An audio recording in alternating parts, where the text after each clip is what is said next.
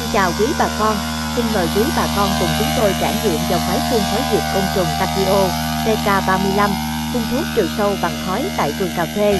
Mời bà con cùng xem máy hoạt động thực tế nha.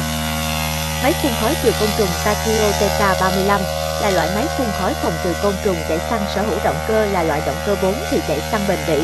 Máy hoạt động với công suất 1.2 kW, dung tích xi lanh 35cc, hoạt động êm ái. Takio TK35 chuyên dụng phun khói phòng dịch, phun khói phòng trừ côn trùng, phun thuốc trừ sâu đa năng, thuốc ra dạng khói bởi áp lực phun mạnh.